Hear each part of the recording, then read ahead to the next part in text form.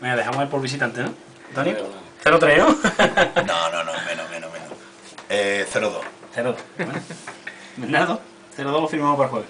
Bueno, yo conociendo al entrenador que trae los barrios Eso, eso es lo que te y la preocupa. ¿eh? plantilla, yo creo que va a estar el partido muy disputado y, y va a ser 2-1.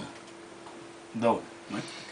Aunque es entre semanas y ahora lo que nos centra es este partido, pero ¿qué me decís los dos dirigentes de eso que ha hecho Federación de poner esos partidos entre semanas? Sobre todo teniendo en cuenta la crisis y que un jueves es hora laboral, el 6 de, de el 6 de enero es Día de Reyes, que la gente está de familia. ¿Comprendéis? Porque nos ayuda precisamente a la economía vosotros. Yo lo veo una auténtica cagada de la federación porque dejan fines de semana sin liga y lo meten entre semanas cuando hay muchísimos socios, gente que pueden ir a ver el partido y comprar su entrada, que están trabajando y claro, si ese hombre, por ejemplo, sale a las ocho y media a trabajar y a las ocho y media es el partido, mientras llega al campo no va a pagar para ver medio tiempo, como es lógico. Entonces yo creo que, entre semanas no se debería jugar nunca en tercera.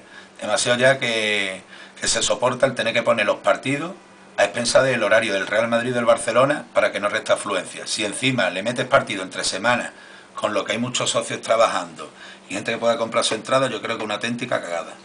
Y tú, Bernardo, que llevas más años en el negocio, sí, menos que sigues también sin entender, porque son muchas veces lo que ha pasado una cosa así. Sí, bueno, la verdad es que tenemos que aguantarlo todo en esta categoría, como la tercera o la regional. Y quizás seamos conscientes nosotros de cuando se va a elaborar un calendario, que no nos reunimos con los responsables de la federación y les ponemos también nuestras cosas o nuestros intereses. Los intereses mirando lo que es el club.